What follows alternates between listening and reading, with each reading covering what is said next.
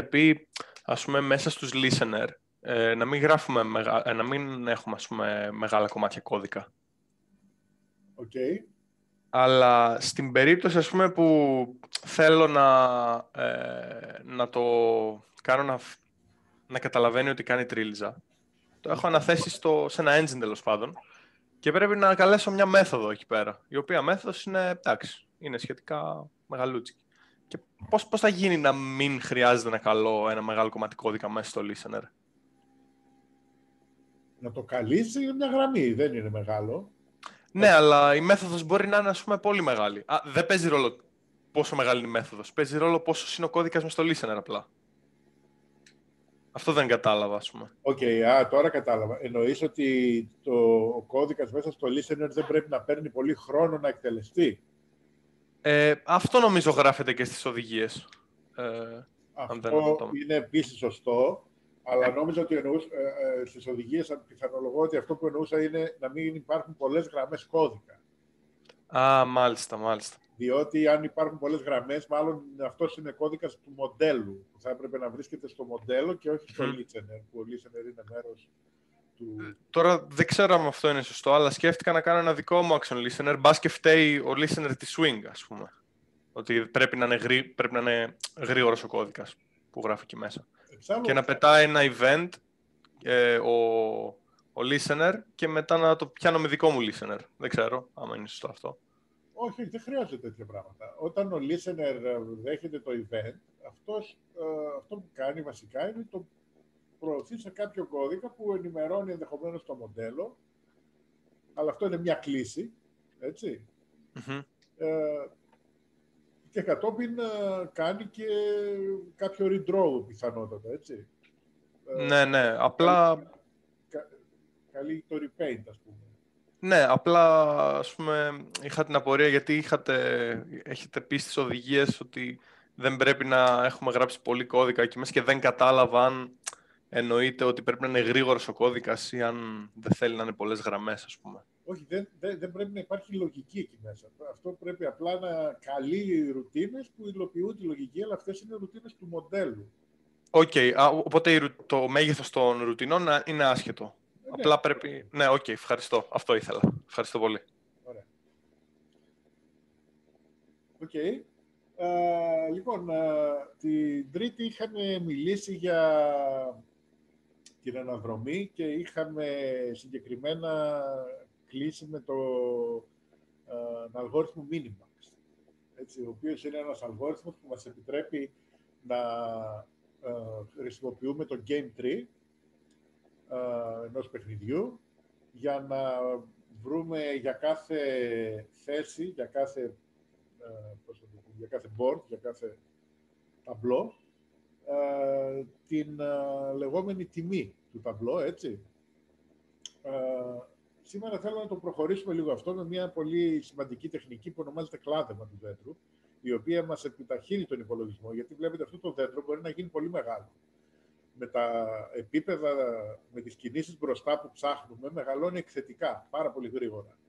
Οπότε είναι σημαντικό να μπορούμε να γλιτώσουμε δουλειά εφόσον μπορούμε και σήμερα θα δούμε μια τέτοια τεχνική.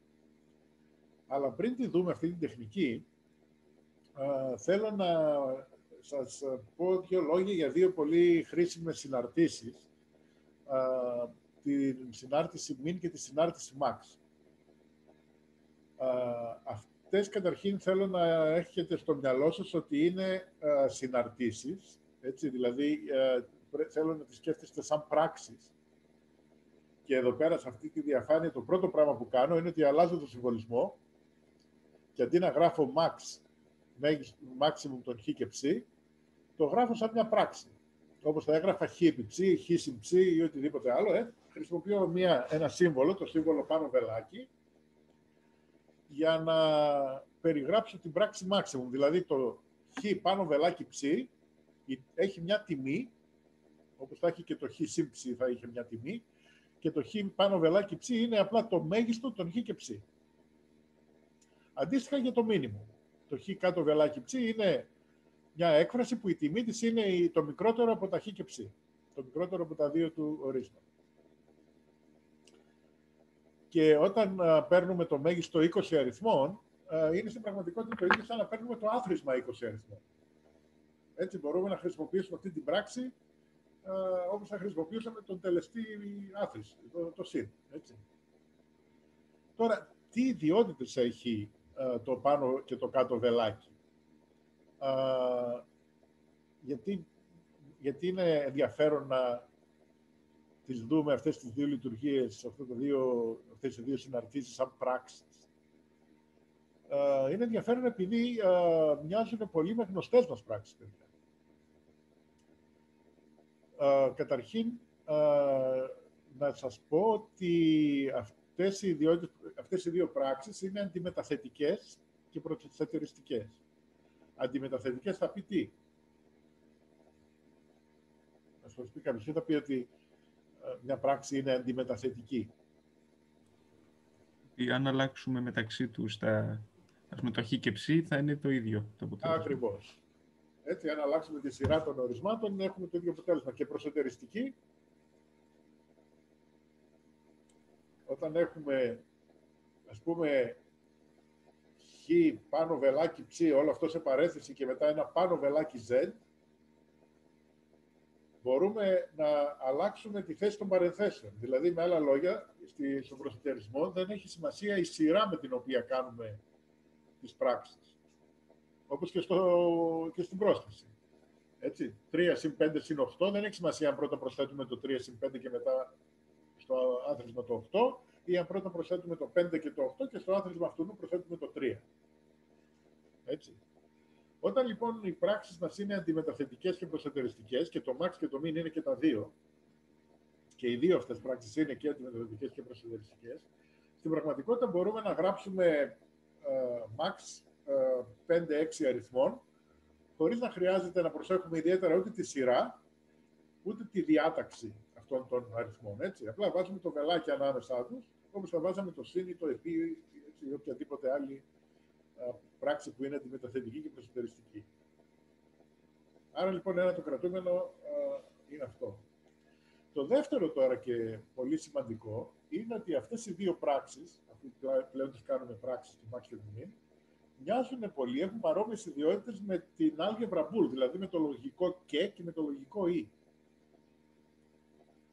Και δεν είναι κάτι που έχει περάσει απαρατήρητο. Στην πραγματικότητα, οι πράξεις αυτές, μαζί σαν ζευγάρι, έχουν παρόμοιες ιδιότητες με το λογικό και και το λογικό ή αν τα πάρουμε αυτά τα δύο σαν ζευγάρι. Επίσης, έχουν παρόμοιες ιδιότητες με την τομή και την ένωση συνόλων. Και αυτά είναι πράξεις μεταξύ συνόλων, η τομή και η ένωση, έτσι. Οπότε, στην πραγματικότητα, μιλάμε για μία άλγευρα με τα max και τα min, και αν σας αρέσουν τα μαθηματικά, μπορείτε να δείτε στη Wikipedia τι είναι ένα λάτις, μια αλγευρική κατηγορία πράξεων που έχει όλες αυτές τις παρόμοιες ιδιότητες που θα δούμε παρακάτω. Και οι πιο, σημαντικοί, οι πιο σημαντικές δύο ιδιότητες των λάτισης είναι Πρώτα ο νόμος του Ντεμόργαν. Εδώ πέρα να πούμε ότι κατά την αναλογία με την άλγευρα Μπουλ χρειαζόμαστε και το νότ. Ωραία. Αν το max λοιπόν το θεωρήσουμε ότι είναι σαν το λογικό or και το min ότι είναι σαν το λογικό και, σαν το λογικό αν, το not ποιο είναι. Το not λοιπόν το παίρνουμε να είναι η, το negation. Έτσι, το μείον χ δηλαδή. Η πράξη του μείον της αντιστροφής του αριθμού. Και εδώ πέρα έχουμε ένα νόμο σαν τον νόμο του Ντεμόργαν. Ο νόμος του Ντεμόργαν για την Boolean Algebra το ξέρετε να φανταστώ, έτσι έχετε κάνει ε, λογική σχεδίαση, δεν είναι κάτι, και νομίζω και πριν από αυτό θα το ξέρετε, έτσι. Ισχύει λοιπόν κάτι, αντίθετο, κάτι αντίστοιχο με τα max και min. Βλέπετε, το maximum των μείον χ και μείον ψ βγάζουμε το μείον απ' έξω, όπως θα βγάζαμε το not απ' έξω και αλλάζουμε ε, σύμβολο. Το max γίνεται min. Είναι ίσο λοιπόν με το minimum, με το μείον, minimum χ, και ψ. Έτσι. Φυσικά, απόλυτα συμμετρικά, ισχύει το ίδιο και ε,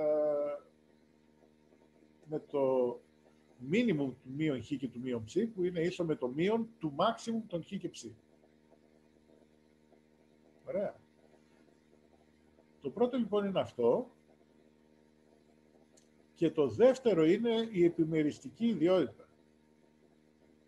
Δηλαδή, ότι αν έχω εδώ πέρα, ας πούμε, το maximum του χ και αυτής εδώ της παρένθεσης που είναι ένα μήνυμο, μπορώ να φανταστώ να κάνω αυτό που λέμε ε, επιμερισμό. Να βάλω λοιπόν ε, το χ, να πάρω πρώτα χ maximum ψ και μετά το minimum αυτό του χ maximum z. Και φυσικά μπορώ να πάω και αντίστροφα, οπότε θα έλεγε κανείς να βγάλω το χ κοινό παράγοντα, θα λέγαμε, αν είχαμε πρόσθεση και πολλαπλασιασμό, έτσι. Ή στη λογική πάλι έχουμε αντίστοιχα επιμερισμό και μπορούμε να βγάλουμε σε εισαγωγικά κοινό παράγοντα ε, κάποιο κοινό, ε, κάποια κοινή έκφραση από μια τέτοιου είδους ε, κατάσταση. Και φυσικά επειδή πάλι υπάρχει συμμετρία, ο επιμερισμός δουλεύει και όταν έχουμε το χ minimum του ψ maximum z, έτσι πάλι μπορούμε να κάνουμε επιμερισμό με, την άλλη, με τον άλλο τελεστή. Αυτές λοιπόν είναι δύο πολύ χρήσιμες ιδιότητες και ε, ξέρετε ότι τον, ε, τις δύο αυτές συναρτήσεις, το maximum και το minimum, ε, σαν προγραμματιστές έχει νόημα να τις σκέφτεστε ως πράξεις. Έτσι, οπότε να τις μεταχειρίζεστε παρόμοια με πράγματα όπως είναι το συν. Τα ουδέτερα τώρα στοιχεία, δηλαδή ε, οι τιμές true και false είναι οι μοναδικές τιμές στην Boolean algebra. Okay. Αυτό λίγο, είναι λίγο μπερδευτικό. Αλλά είναι και ουδέτερα στοιχεία. Δηλαδή το true είναι ουδέτερο ε, στοιχείο της πράξης και. Έτσι. True και χ είναι ίσο με χ. Είναι σαν να προσθέτουμε 0. Και αντίστοιχα το false είναι ουδέτερο στοιχείο της πράξης or. Έτσι. False uh, or χ είναι ίσο με χ. Οι αντίστοιχες τιμές στην uh, περίπτωση των Max και Min είναι φυσικά, εδώ πέρα γράφω το συν άπειρο και το μείον άπειρο, αλλά εξαρτάται στα αλήθεια παιδιά από την εφαρμογή. Έτσι. Δηλαδή, αν ξέρουμε ότι τα χ και ψ είναι πάντοτε α, ξέρω εγώ, αριθμοί από 8 πιτή, από μείον 128 σε 127, τότε μπορούμε να χρησιμοποιήσουμε το μείον 128 ως το μείον άπειρο και το συν 127 ως το συν άπειρο. Έτσι. Άρα λοιπόν για περιορισμένα ranges αριθμών απλά παίρνουμε το μείον άπειρο, το θεωρούμε ότι είναι κατά κάποιο τρόπο μια ελάχιστη τιμή και το συν άπειρο ότι είναι μια μέγιστη τιμή. Έτσι. Και τέλος, υπάρχει η σχέση των πράξεων max και min με την πρόσθεση και με τον πολλαπλασιασμό. Οπότε, η βασική εδώ πέρα ιδιότητα είναι η ιδιότητα του επιμερισμού.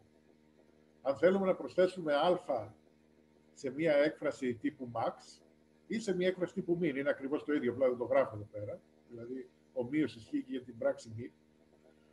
Αυτό το οποίο κάνουμε, που μπορούμε να κάνουμε, είναι να βάλουμε το α, να το επιμερίσουμε και, στο δύο, και σε δύο πλευρές της πράξης ε, max.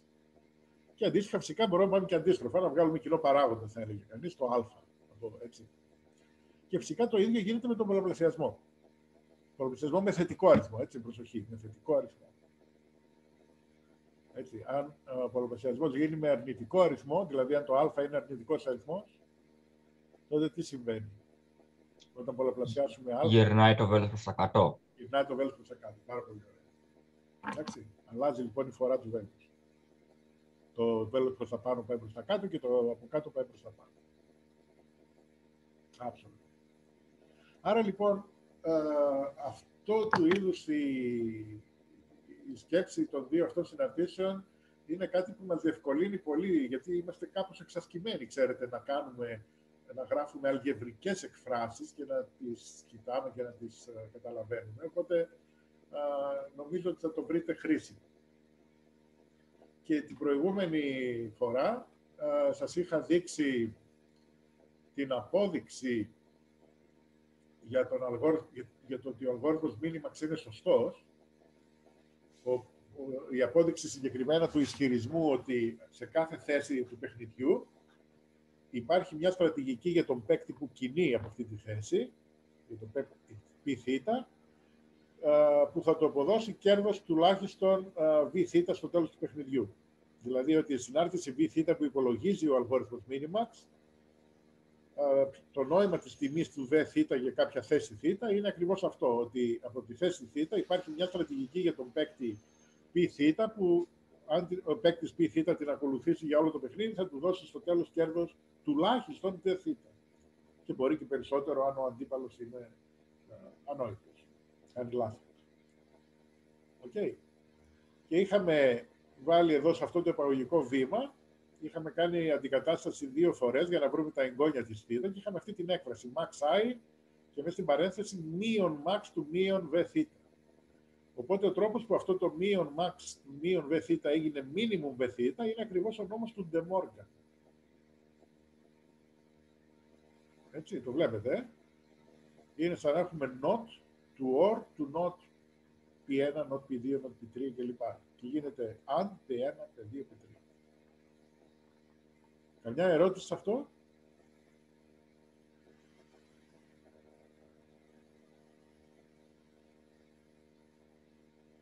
Ωραία. Τώρα, αυτό το οποίο μας κινεί λοιπόν για το επόμενο βήμα είναι το ότι τα δέντρα, όπως είπα, γίνονται πάρα πολύ μεγάλα. Έτσι. Δηλαδή, παιχνίδια όπως το σκάκι και το Go έχουν ένα δέντρο το οποίο πραγματικά είναι ασύλληπτα μεγάλο. Έτσι. 10 στην 50 ε, φύλλα ή παραπάνω, δεν ξέρω. Μπορεί να, αυτό το νούμερο που λέω να είναι μικρό. Αλλά το 10 στην 50 για να το καταλάβετε είναι κάτι του στυλ της τάξης πόσα είναι τα μόρια του πλανήτη μας. Έτσι, πλάβει για τέτοια νούμερα. Οπότε, α, εκεί πέρα φυσικά, όταν έχει ένα δέντρο το οποίο έχει τόσα, τόσους κόμβους όσα είναι τα μόρια του πλανήτη, φυσικά δεν γίνεται να το ψάξεις όλο. Έτσι, δεν, δεν θα τελειώσει, ό,τι υπολογιστή και να είχαμε, δεν θα τελειώσει, δεν θα τελειώσει πριν το τέλος του σύμπαντος. οπότε τι κάνουμε; βασικά δύο πράγματα. Το πρώτο που κάνουμε, και σίγουρα είναι απαραίτητο να γίνει σε μεγάλα παιχνίδια, σε σοβαρά παιχνίδια, όπως είναι το σκάκι, το go, η dama κλπ, είναι να περιορίσουμε το βάθος στο οποίο ψάχνουμε. Δεν φτάνουμε λοιπόν ως τα φύλλα του δέντρου, αλλά σταματάμε σε θέσεις που δεν είναι τερματικές και θα δούμε εκεί πέρα τι κάνουμε. Αυτό είναι η μία λύση. Αυτή η λύση έχει κόστος, γιατί αυτό σημαίνει ότι δεν πάμε την αναζήτησή μας μέχρι το τέλος, οπότε εκεί πέρα το ΒΘ που υπολογίζουμε με αυτόν τον τρόπο δεν είναι στα αλήθεια το πραγματικό ΒΘ, αλλά μία εκτίμηση που ελπίζουμε να είναι καλή. Αλλά το δεύτερο που κάνουμε, αυτό είναι ασφαλές. Και αυτό μπορούμε να το κάνουμε και σε μικρά και σε μεγάλα δέντρα. Και απλά μας επιταχύνει πολύ, όπως θα δούμε, τον υπολογισμό. Και είναι τι; Είναι να κλαδεύουμε κάποια από τα υποδέντρα. Καθώς κατεβαίνουμε τους κόμβους του δέντρου και τα, τα εγγόνια και στα επισέγγωνα κτλ. Μπορούμε με έναν τρόπο που θα περιγράψουμε να ανακαλύψουμε ότι σε κάποια από αυτά τα υποδέντρα, σε πολλά από αυτά, δεν χρειάζεται να κατέβουμε. Και όταν το ανακαλύπτουμε αυτό, αυτό που κάνουμε είναι ότι δεν κατεβαίνουμε στα αντίστοιχα υποδέντρα και αυτό το ονομάζουμε κλάδεμα. Ναι, διαισθητικά μιλώντας. Οπότε έχουμε αυτές τις δύο λύσεις. Πάμε να δούμε λίγο την πρώτη ένα λεπτό για να δούμε πόσο απλή είναι στα αλήθεια, αν και είναι απατηλά απλή. Φανταστείτε λοιπόν ότι λέω ότι παίζω σκάκι και είμαι στη, σε κάποια θέση και θέλω να βρω ποια είναι η επόμενη κίνησή μου, οπότε τι πρέπει να κάνω, πρέπει να υπολογίσω το ΒΘ για όλες τις επόμενες θέσεις, για όλες τις δυνατές κινήσεις από τη θέση που είμαι. Αλλά επειδή το σκάκι είπαμε θα έχει ένα δέντρο ασύλληπτα μεγάλο, θα βάλω ένα όριο βάθους. Ας πούμε, θα δω τρεις κινήσεις μπροστά, όπως Έτσι.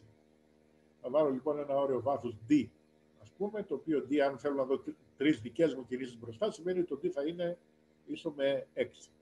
Άρα 6, 6 επίπεδα στο δέντρο. 6 ply. OK, okay, το θέμα είναι ότι αν το κάνω αυτό, θα φτάσω σε κόμβους οι οποίοι απέχουν βάθος 6 από τον αρχικό μου, είναι όντως τρεις δικές μου κινήσεις μπροστά, αλλά δεν είναι φυσικά τερματικές θέσεις. Εκεί πρέπει να σταματήσω με κάποιο τρόπο και να επιστρέψω κάποια τιμή για το ΒΘ. Γιατί το μήνυμα έτσι δουλεύει, ε, αναδρομικά. Αυτό το οποίο κάνουμε λοιπόν εκεί πέρα είναι ότι χρησιμοποιούμε κάποιο ευρεστικό σκορ. τι εννοούμε ευρεστικό στην πληροφορική; Ευρεστικό εννοούμε η, η λέξη heuristic είναι μία λέξη η οποία λέει ότι είναι μία ότι κάτι είναι πρακτικό. Δεν έχει εγγύηση, δεν είναι αποδεδειγμένα καλό και τέλειο κλπ. Είναι κάτι πρακτικό, είναι κάτι προσεγγιστικό, διαισθητικά σωστό, αλλά δεν είναι στα αλήθεια κανείς σίγουρος ή είναι κατεκτήμηση. Έτσι. Υπάρχουν πολλές έννοιες που θα μπορούσε κανείς να δώσει τη λέξη heuristic, γι' αυτό και ε, τη μεταφράζουμε στα ελληνικά ως ευρεστικό. Αλλά πιο, πιο σωστό θα ήταν να πούμε κατά κάποιο τρόπο εφεύ, εφεύρημα. Έτσι. Βασικά σημαίνει κάνε κάτι καλό το οποίο ξέρεις ότι δεν δουλεύει πάντα, αλλά τέλος πάντων ελπίζεις ότι το περισσότερο καιρό θα κάνει κάτι καλό. Δηλαδή, για παράδειγμα, στο σκάκι μπορούμε να φτάσουμε σε κάποια θέση τρεις κινήσεις μπροστά και να πούμε ότι, οκ, σε αυτή τη θέση για να προσπαθήσω να βγάλω ένα βεθήτα. Δεν θα βγάλω σίγουρα ένα βεθήτα με μεγάλη βεβαιότητα, αλλά μπορώ να δω πράγματα. Μπορώ να δω, ας πούμε, αν έχω ε, φάει εγώ πολλά κομμάτια του αντιπάλου ή αν ο αντίπαλος έχει φάει δικά μου κομμάτια, έτσι. Μπορώ να δω αν απειλείται ή αν είναι κοντά στο να απειλείται ο βασιλιάς μου, ξέρω εγώ. Φαντάζομαι αυτοί που ασχολούνται με το σκάκι θα μπορούσαν να, να φτιάξουν διάφορα τέτοια ευρεστικά κριτήρια, όπου κοιτώντας ένα ταμπλό κατά κάποιο τρόπο να του δώσουν μια τιμή που να λένε αυτό το ταμπλό μοιάζει καλό για τον άσπρο ή καλό για τον μαύρο. Θυμηθείτε, πρέπει να έχουμε zero sum, έτσι, οπότε ό,τι τιμή δώσουμε για τον ε, ένα από τους δύο παίκτες του σκακιού, θα δώσουμε την άρνησή της για τον άλλο παίκτη. Έτσι. Α, ή απλά μπορεί να έχουμε ένα παιχνίδι στο οποίο το δέντρο δεν είναι τόσο τεράστιο, αλλά στο οποίο το να κερδίσει με έναν τρόπο μπορεί να σου δίνει πιο πολλούς πόντους από ότι με έναν άλλο. Έτσι. Α, σε κάθε περίπτωση, α, ο τρόπος με τον οποίο αλλάζουμε το βασικό αλγόριθμο Minimax για να βάλουμε περιορισμό του βάθους είναι πάρα πολύ απλός. Απλά προσθέτουμε την παράμετρο του depth και αρχικά καλούμε τον αλγόριθμο Minimax με όρισμα το D εδώ πέρα για την παράμετρο του depth, δηλαδή το μέγιστο βάθος που θέλουμε. Και απλά αλλάζει η λεγόμενη βάση της αναδρομής. Η βάση λοιπόν της αναδρομής γίνεται όχι μόνο όταν δώσουμε ως πρώτο όρισμα μια θέση η οποία είναι τερματική, μια θέση game over. Εκεί σίγουρα έχουμε περίπτωση της βάσης της αναδρομής. Η δεύτερη περίπτωση είναι το depth να είναι 0. Στην οποία περίπτωση θα πρέπει από την θέση π, που είναι το πρώτο όρισμα, να πάρουμε κάποια μορφή σκορ. Τώρα, αν η θέση π είναι τερματική, όπως είπαμε, αυτό είναι το πραγματικό σκορ το οποίο θα πάρει ο παίκτης που νίκησε ή, το, ή ο παίκτης που θα κουνούσε. Έτσι. Ο παίκτης που ήταν να, να κουνήσει μετά και, και το τέλος του παιχνιδιού, αλλά δεν θα κουνήσει λόγω τέλους του παιχνιδιού. Οπότε αυτό είναι το ίδιο με το μήνυμα χωρίς περιορισμό βάθους. Αλλά η σκορ θα πρέπει να είναι αρκετά έξυπνη, ώστε να μπορεί να μας επιστρέψει και μία αρκετά έτσι αρκετά, όσο το δυνατόν καλύτερη ε, εκτίμηση, ακόμα και για μια θέση π που δεν είναι τερματική. Έτσι, με κάποιο ευρεστικό τρόπο. Αυτή λοιπόν είναι η περίπτωση της βάσης.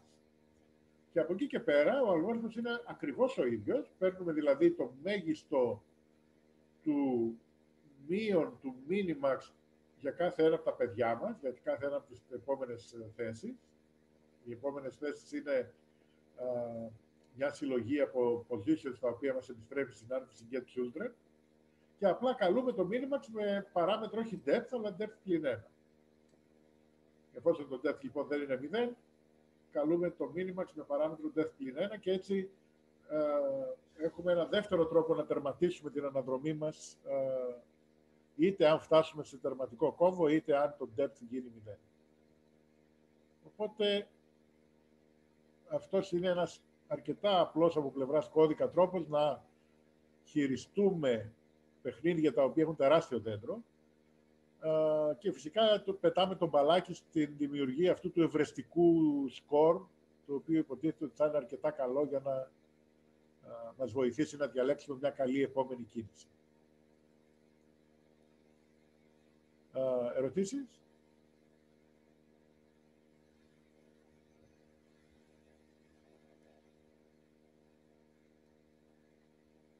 Κύριε, Ναι. Μπορείτε να επαναλάβετε για το depth, το in depth που γράφετε, τι είναι ακριβώς; Ναι, είναι μια κέραια, ένα κέραιο όρισμα στο αλγόριθμο Minmax και ο τρόπος που το χρησιμοποιούμε είναι ο εξής. Όταν ξεκινάμε από μια θέση που θέλουμε να μάθουμε το value της, το v του θ, δεν θέλουμε να κάνουμε αναδρομή πάνω από d α, επίπεδα, πάνω από d φορές, σε βάθος μεγαλύτερο από d. Γιατί αν κάνουμε, τόσο μεγάλη, αν κάνουμε πολύ μεγάλη αναδρομή, είπαμε το πρόβλημα είναι ότι το δέντρο μας μεγαλώνει εκθετικά. Οπότε μπορεί η αναδρομή μας απλά να μην τελειώνει. Θα βάλουμε λοιπόν ένα όριο στο δέντρο μας, θα πούμε, ας πούμε τρία επίπεδα, τέσσερα επίπεδα και ελπίζουμε ότι παρόλο που σε κάθε επίπεδο έχουμε ξέρω εγώ, 20 πλάσιες θέσεις από ό,τι στο προηγούμενο, το 20 στην τρίτη ή το 20 στην έκτη είναι ένα μεγάλο νούμερο, αλλά είναι ένα νούμερο βατό. Ενώ το 20 στην 20η είναι ένα ασύλληπτο νούμερο, το οποίο δεν είναι πλέον βατό. Έτσι, γι' αυτό δεν θέλουμε να φτάσουμε σε βάθος δέντρου 20, αλλά σε ένα βάθος δέντρου 4, 6, κάτι τέτοιο. Οπότε πώς το υλοποιούμε αυτό; Πώς κλαδεύουμε το δέντρο μας όταν φτάσουμε σε ένα βάθος ε, έξι κινήσεις μπροστά από εκεί που ξεκινήσαμε. Το κάνουμε ως εξής. Δίνουμε στο, στην κλίση Minimax αρχικά το όρισμα depth το κάνουμε να είναι 6. Ε, εδώ. Και όταν αυτή αναδρομικά καλεί τον εαυτό της για να πάει δηλαδή επόμενες κινήσεις, μειώνει το depth κατά ένα. Οπότε μετά η Minimax με, με depth 6 θα καλέσει τη Minimax με depth 5. Αυτή θα καλέσει Minimax με depth 4, με depth 3 κλπ. Και όταν το depth γίνει 0, σταματάμε την αναδρομή και επιστρέφουμε κάποιο σκορ, ακόμα και αν ο κόμβος π δεν είναι τερματικός κόμβος. Και το depth 0, που, τι ακριβώς σημαίνει; Αυτό βασικά δεν έχω καταλάβει. Σημαίνει ότι το αρχικό depth που δώσαμε, το 6, το 8, το 4, ό,τι ήταν, έχει μηδενιστεί καθώς κάναμε αναδρομικές κλήσεις. Σημαίνει λοιπόν ότι κάναμε στη σειρά πολλές αναδρομικές κλήσεις και φτάσαμε σε ένα σημείο που δεν θέλουμε από εδώ και πέρα να δούμε πιο μπροστά. Θέλουμε σε αυτό το σημείο, depth 0 λοιπόν σημαίνει από αυτό το σημείο μην δεις πιο κάτω στο δέντρο, δες την τρέχουσα θέση, τη θέση π μόνο και πες μου ό,τι καλύτερο μπορείς για το σκορ Άρα το depth ε, είναι ένα index το οποίο δείχνει πόσο, πού βρισκόμαστε ακριβώς στο δέντρο, πόσο προς τα κάτω πηγαίνουμε. Όχι, δεν δείχνει πού βρισκόμαστε, δείχνει πόσο μπροστά θέλουμε να προχωρήσουμε. Α, OK, okay, εντάξει, κατάλαβα. Αυτό δείχνει πόσο μπροστά θέλουμε να προχωρήσουμε. Ωραία, ευχαριστώ. Όταν έχουμε 0, σημαίνει δεν θέλουμε να προχωρήσουμε καθόλου πιο κάτω στο δέντρο. Ωραία. Okay. Οπότε αυτός είναι ένας απλός μετασχηματισμός και μπορούμε να τον κάνουμε πάντα, αλλά στο tic-tac-toe δεν έχει νόημα να τον κάνουμε. Γιατί το δέντρο είναι έτσι κι αλλιώς αρκετά μικρό, το depth είναι 9 και το μέγιστο δέντρο είναι γύρω στις 500.000 κόμβοι. Και το 500.000 κόμβοι μπορεί να ακούγεται μεγάλο νούμερο, αλλά για τον υπολογιστή είναι κάτι πολύ γρήγορο. Θα το κάνει πολύ γρήγορα, θα το εξετάσει πολύ γρήγορα το δέντρο. Παρ' όλα αυτά, για λόγους έτσι α, α, εκπαιδευτικούς και μορφιά, έχει νόημα να δούμε και πώς αλλιώς μπορούμε να κλαδέψουμε το δέντρο.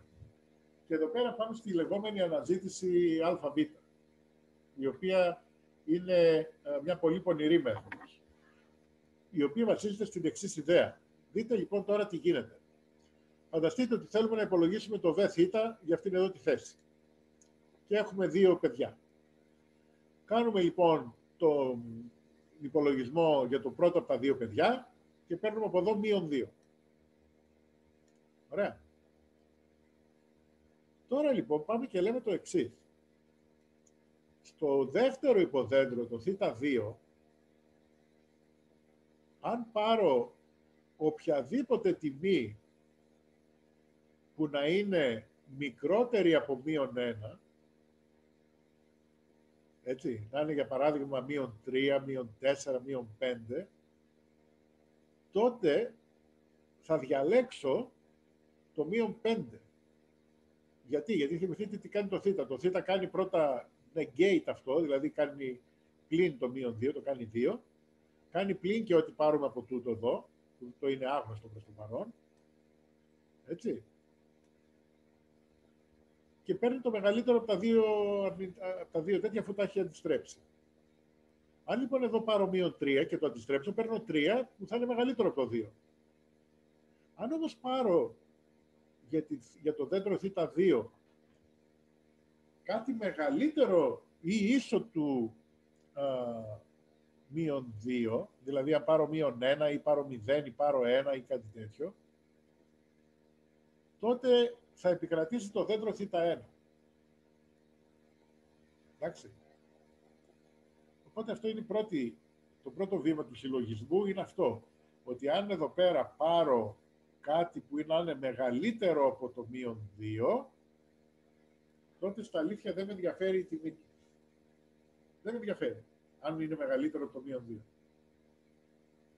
Έτσι. Γιατί ό,τι και να θα επικρατήσει το παιδί θ1 στην επιλογή. Το ότι δεν με ενδιαφέρει η τιμή του τώρα, μπορούμε να το εκμεταλλευτούμε όταν πάμε να υπολογίσουμε το θ2 για να κάνουμε το κλάδεμα που λέγαμε. Δηλαδή, κοιτάξτε να δείτε τι γίνεται. Αν εδώ πέρα, στο πρώτο από τα παιδιά του θ2, σε αυτό εδώ το εγγόνι, πάρω την τιμή 1,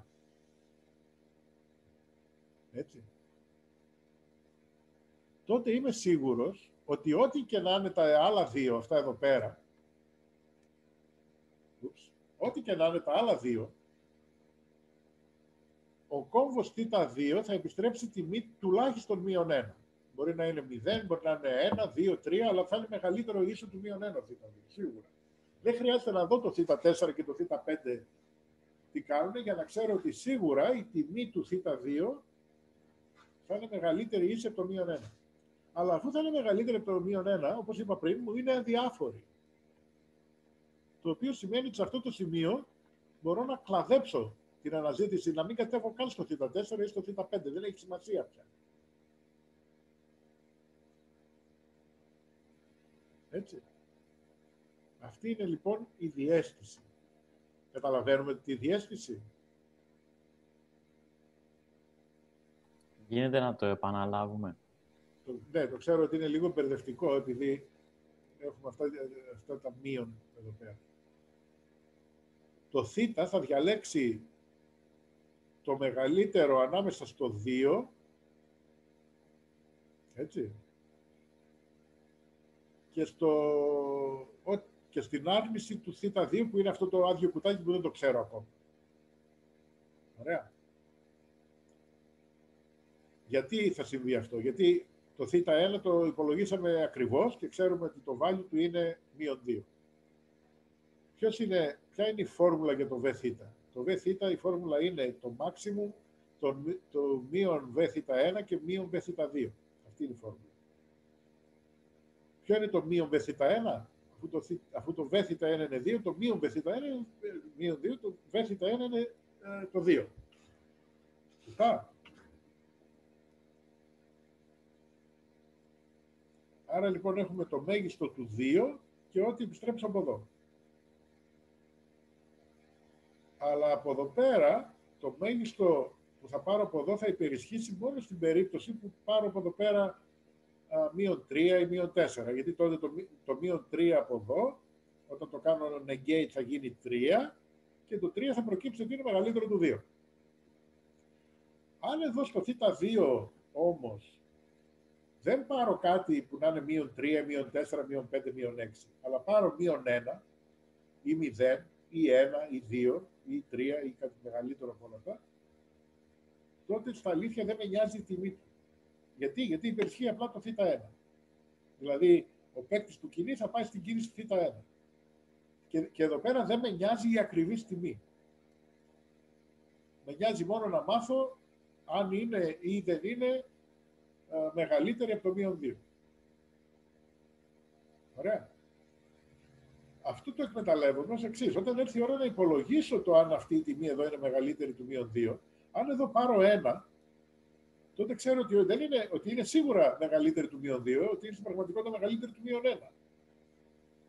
Γιατί θυμηθείτε, το value του θ2 είναι το μέγιστο του μείον value θ3, μείον value θ4 και μείον value θ5.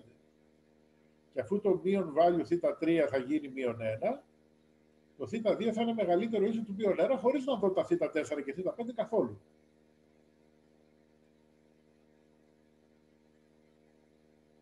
Χωρίς να δω τα θ4 και θ5, μπορώ σε αυτό το σημείο να συμπεράνω, ξέροντας ότι το θ3 έχει τιμή 1, ότι το value του θ2 είναι μεγαλύτερο του μείον 1.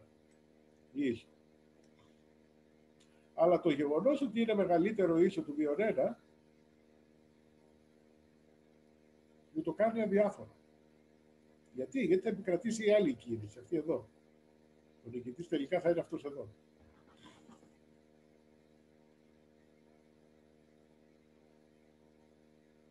Το οποίο σημαίνει ότι μπορώ εκεί στο θ4 και στο θ5, σε αυτά τα υποδέντρα, να μην κατέβω καθόλου. Και γι' αυτό έχω βάλει και εκείνο το ψαλίδι εκεί πέρα που δείχνει ότι εκεί πέρα κλαδεύω την αναδρομή μου. Και γλιτώνω το χρόνο φυσικά, έτσι.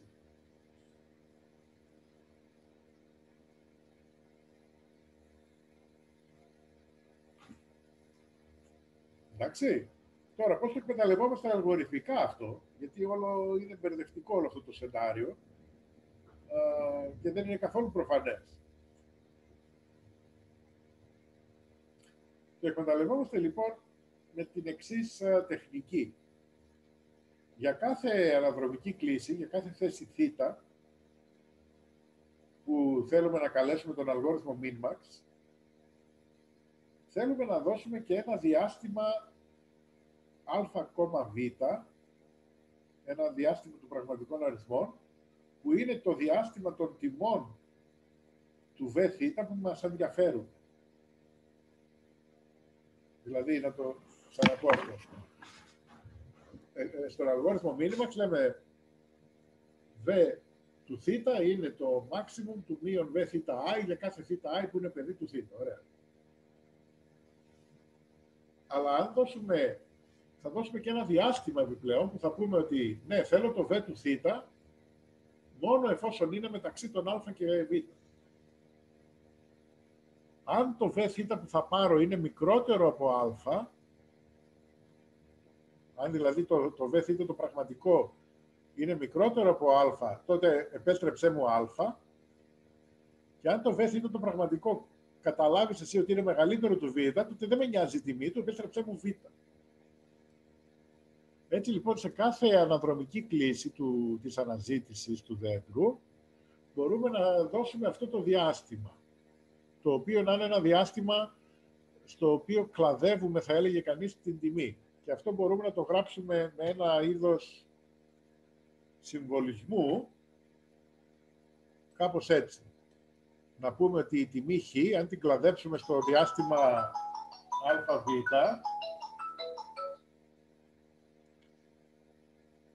Έτσι, αν την τιμή χ την κλαδέψουμε στο διάστημα αβ, είναι στο ίδιο σαν να πάρουμε το, το maximum του χ και α και το αποτέλεσμά του να το πάρουμε minimum με β.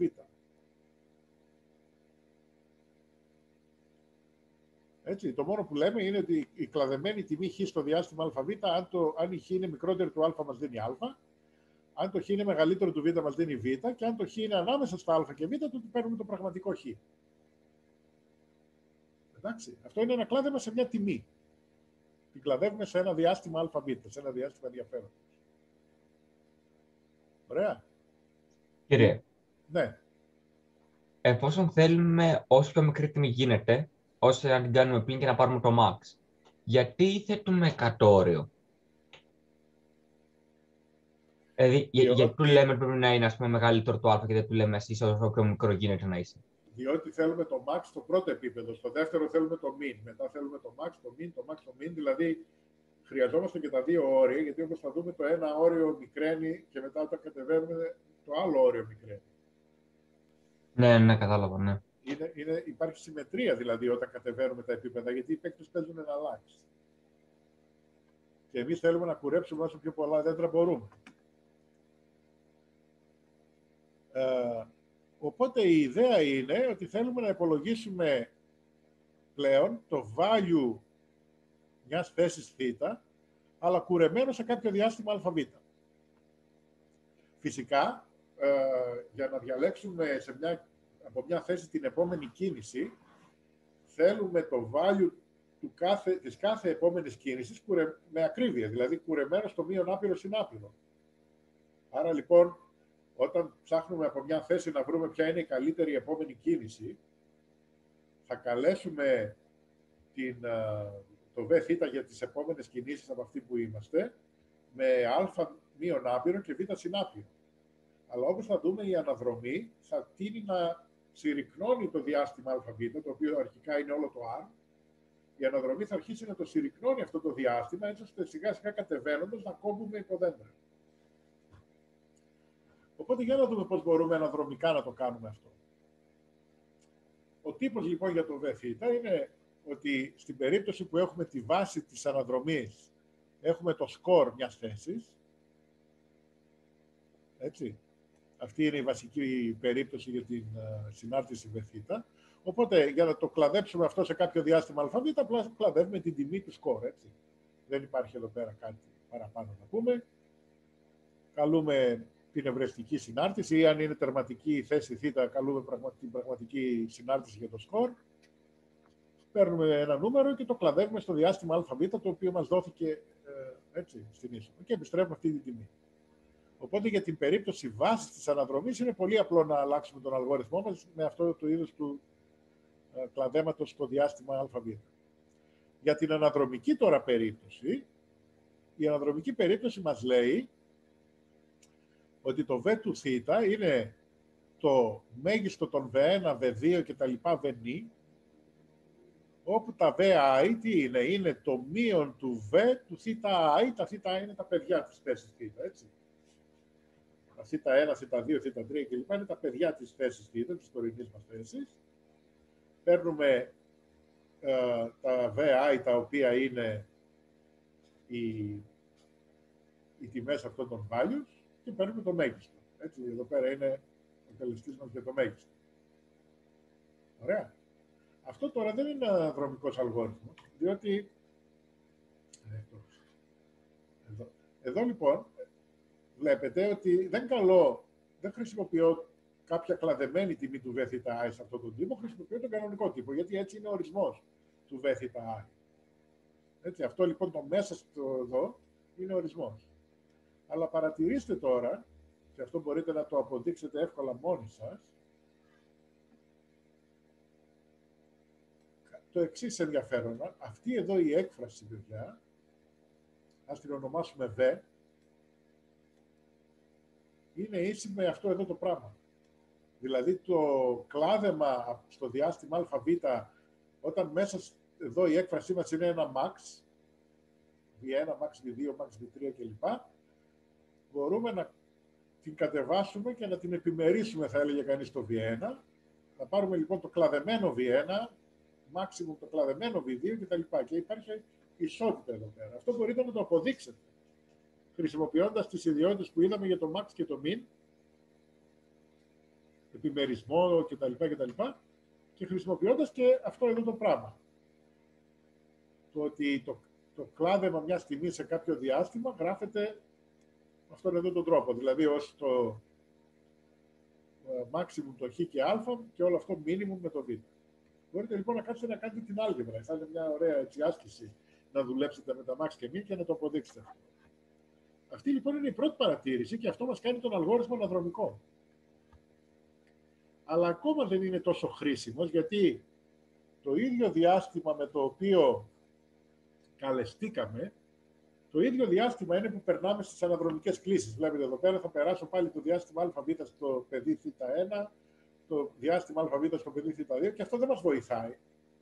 Γιατί αν το αρχικό μας διάστημα είναι το μείον άπειρο συνάπειρο, θα καλέσουμε όλα τα παιδιά με μείον άπειρο συνάπειρο. Άρα, άρα υπολογίζουμε το ακριβές με θ για κάθε θέση. Άρα αυτό είναι το πρώτο βήμα του πώς θα καταλήξουμε σε έναν καλό αλγόριθμο. Και τώρα θέλουμε και ένα δεύτερο βήμα. Και το δεύτερο βήμα είναι να αντικαταστήσουμε αυτόν εδώ τον τύπο για το β κεφαλαίο με μία λογική η οποία είναι ως εξής. Αρχικοποιούμε μια τιμή v0 να είναι ίση με το α και μετά ή u0 πιο σωστά και μετά ξεκινάμε να υπολογίσουμε αυτό το maximum. Α, και εδώ έχω παραλείψει κάτι. Α, όχι, δεν το παραλείψει. Ωραία. Να υπολογίσουμε αυτό εδώ το V και το κάνουμε ως εξής. Το VI, δηλαδή το V1 για παράδειγμα, είναι ίσο με το VI, αλλά τώρα το VI το κλαδεύουμε πού; Από το U του I πλην 1 ως το, ως το Β. Τώρα το U του 0 είναι Α. Οπότε το πρώτο μας κλάδεμα θα γίνει όντως πάλι στο ΑΒ διάστημα. Αλλά αν από αυτό το κλάδεμα πάρουμε κάτι που να είναι μεγαλύτερο από το α, πάρουμε το U1 που είναι μεγαλύτερο από το α, το επόμενο κλάδεμα θα γίνει, σε ένα, θα γίνει όχι στο διάστημα αβ, αλλά στο διάστημα U1β. Και από αυτό θα πάρουμε το U2. Και μετά το επόμενο κλάδεμα θα γίνει στο διάστημα U2,β και ούτω καθεξής. Άρα, καθώς εξετάζουμε ένα-ένα τα παιδιά, θ και υπολογίζουμε τις τιμές VI, τις κλαδεμένες τιμές VI, δίνουμε σε αυτούς τους υπολογισμούς και όλο και μικρότερο διάστημα, γιατί το, το UI συνεχώς αυξάνει, έτσι, το UI ποτέ δεν μικραίνει, ξεκινάει από α και μπορεί να μεγαλώσει μέχρι να φτάσει στο β. Αν φυσικά κάποια στιγμή φτάσει στο β, τότε τελειώσαμε, έτσι. Το, αν το α γίνει ίσο με το β, πλέον εκεί, εκεί είναι που κλαδεύουμε το δέντρο. Έτσι. Αν δηλαδή κάποια στιγμή πάρουμε VI μεγαλύτερο ίσο του Β, το, το, τα, τα επόμενα I, το, το VI συν 1, το VI συν 2 κτλ. δεν χρειάζεται καθόλου να τα επισκεφτούμε. Ωραία. Τώρα εδώ υπάρχει ένα λεπτό σημείο ότι το VI θυμηθείτε ότι είναι να το, το, να το, το VI, εδώ κάτω, το, το κάνω highlight. Το VI είναι αυτή εδώ η έκφραση. Και αν αυτή πάμε να την κλαδέψουμε σε δύο τιμές, α και β, στην πραγματικότητα θα πρέπει να παρατηρήσουμε ότι υπάρχει αυτή εδώ η ισότητα, οπότε αντιστρέφουμε τα όρια του κλαδέματος και το κλάδεμα στο διάστημα αβ για το μείον βθi είναι ίσο με το κλάδεμα του βθi στο μείον β μείον α, στο διάστημα από μείον β ως μείον α. Οπότε από αυτή την τελευταία παρατήρηση παίρνουμε τελικά την ρουτίνα αυτή εδώ που είναι η λεγόμενη αναζήτηση αβ. Είναι σαν το μήνυμα, παίρνει σαν όρισμα μια θέση, αλλά παίρνει και το διάστημα αβ. Η περίπτωση βάσης είναι η ίδια, κάνουμε προυν το σκορ στο διάστημα αβ. Η συνάρτηση προυν είναι αυτή εδώ, έτσι. Είναι το minimum του β και του max αχ. Αυτή λοιπόν είναι η περίπτωση βάσης, αλλά για την αναδρομική περίπτωση κάνουμε το κόλπο που είπαμε. Δηλαδή αρχικοποιούμε τη μεταβλητή u να είναι αρχικά έτσι με α. Κατόπιν υπολογίζουμε για κάθε ένα παιδί την τιμή του V, πώς, παίρνοντας μείον του αβ search του παιδιού, αλλά με διάστημα μείον β μείον ου, και κάνουμε update το ου να είναι το μέγιστο των ου και β. Και αν φυσικά κάποια στιγμή το ου γίνει μεγαλύτερο ίσο του β, τότε τελειώσαμε, επιστρέφουμε β. Αν περάσει όλο το loop χωρίς να το U να γίνει μεγαλύτερο ίσο του Β, τότε επιστρέφουμε το U. Πόσο καλά δουλεύει αυτό. Είναι λίγο περίπλοκος αλγόριθμος, θέλει σκέψη για να τον ε, προσέξετε, για να τον καταλάβετε, αλλά δουλεύει πάρα πολύ καλά. Δηλαδή, κοιτάξτε να δείτε τι γίνεται. Στο tic-tac-toe, το απλό μήνυμα ξεπισκέπτεται ε, όταν του δώσουμε σαν όρισμα τη ρίζα, την αρχική θέση, λοιπόν, το αρχικό ταμπλό του tic-tac-toe, το άδειο ταμπλό, το μήνυμα επισκεφτεί 549.000 κόμβους. Τόσο μεγάλο είναι το Game 3. Αν όμως κλαδέψουμε αυτό το δέντρο για να υπολογίσουμε την τιμή της ρίζας, το β της ρίζας, χρειάζεται να επισκεφτούμε από τους 550.000 κόμβους μόνο τους 20.000. Βλέπετε πόσο δραματικά λιγότεροι κόμβοι επισκεπτόμαστε, πόσο δραματικά λιγότερους κόμβους επισκεπτόμαστε. Φυσικά, επειδή το tic-tac-toe είχε ένα ρηχτό δέντρο, μετά την πρώτη κίνηση, ε, αν δώσουμε λοιπόν ε, κάποιο ταμπλό που είχα πάνω του μόνο ένα σύμβολο, μόνο μία κίνηση, το Minimax θα χρειαστεί 60, ε, περίπου 60-64.000 κόμβους να επισκεφτεί. Με το, με το κλάδεμα που κάνουμε θα χρειαστούμε να επισκεφτούμε μόνο 2,5 με 5.000 κόμβους. 2,5 με 5.500 κόμβους. Άρα και πάλι 15 φορές λιγότερο. Και στην επόμενη κίνηση, στη δεύτερη κίνηση, το Minimax θα χρειαστεί 6,5 με 8.000 κόμβους να επισκεφτεί, ανάλογα ποια είναι η δεύτερη κίνηση, έτσι. Αλλά με το ΑΒ σετ χρειαζόμαστε μόνο 500 στους χίλιους, δηλαδή το 11. Okay. Τώρα, σε μεγάλα παιχνίδια, όπως το σκάκι και η ντάμα και αυτά, ο εμπειρικός κανόνας με αυτό το κλάδεμα του ΑΒ που κάνουμε είναι ότι μας επιτρέπει να πάμε σε διπλάσιο βάθος από ότι το Minimax για να επισκεφτούμε τον ίδιο αριθμό κόμβων που θα επισκεφτεί το Minimax. Δηλαδή, αν το Minimax δεν θέλουμε να πάμε πιο πολύ από βάθος 5, για παράδειγμα, επειδή μετά οι κόμβοι γίνονται πάρα πολλοί, κάνοντας και το κλάδεμα με το ΑΒ, μπορούμε από το, αυτό το 5 να το κάνουμε βάθος 10 να δούμε 10 κινήσεις μπροστά, με το ίδιο κόστος CPU, με τον ίδιο αριθμό κόμβων που σκεφτόμαστε, που θα είχε κάνει το Minimax αν είχε πάει μόνο 5 κινήσεις μπροστά. Τόσο καλό είναι αυτό το κλάδο. Μας διπλασιάζει το πόσο κινήσεις μπροστά μπορούμε να πάμε. Είναι περίπλοκος ο αλγόριθμος, μην στεναχωριέστε αν τον μπερδεύετε, δείτε τον στις σημειώσεις. σας συμβουλεύω να ξεκινήσετε με το απλό Minimax, που είναι νομίζω κατανοητό αρκετά καλά και μετά αν θέλετε να παίξετε, να δοκιμάσετε να τον υλοποιήσετε και αυτόν στο, στην AI σας για να την κάνετε πραγματικά πολύ γρήγορα. Ερωτήσεις;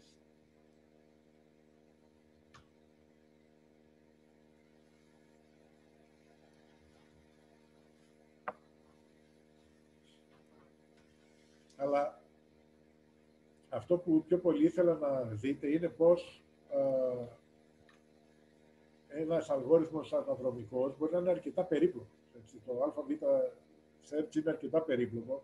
Να το μελετήσετε στο τέταρτο έτος όσοι πάρετε το μάθημα της τεχνητής ευφυΐας.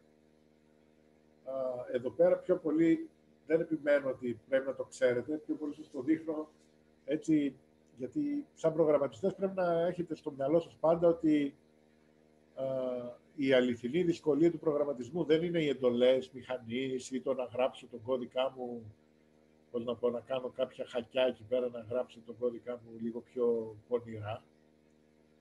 Η αληθινή δυσκολία στον προγραμματισμό είναι η πολυπλοκότητα των αλγορίθμων. Και γι' αυτό ο κώδικας πρέπει να είναι όμορφος.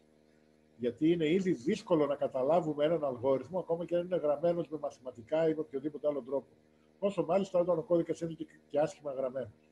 Ο κώδικας λοιπόν πρέπει να είναι όμορφος, να διαβάζετε ευχάριστα, γιατί έτσι κι αλλιώς θα είναι δύσκολο να τον καταλάβετε. Και γι' αυτό από την αρχή αυτής της, ε, αυτού του μαθήματος σας επιμένω ότι πρέπει ο κώδικας να είναι όμορφος, να είναι κομψός, να είναι το, να είναι τα. Γιατί οι αλγόριθμοι είναι δύσκολοι. Okay. Αυτά σας αφήνω να πάτε στο φροντιστήριο και θα συνεχίσουμε. Καλή Ανάσταση από μένα. Καλό Πάσχα, καλές διακοπές. Ε, Επίσης. Θα συνεχίσουμε την επόμενη μετά το Πάσχα και θα προχωρήσουμε με προγραμματισμό κάποια πράγματα με loops, λίγα ακόμα για αναδρομή και μετά θα μπούμε σε δέντρα, διαδικά δέντρα και τέτοια πράγματα. Λοιπόν, γεια σας και χρόνια πολλά σε όλους ε, και καλή συνέχεια και θα τα πούμε σε τρίτο μάθημα. Καλή συνέχεια. Καλές γιορτές. Καλές πολλά. Καλές γιορτές.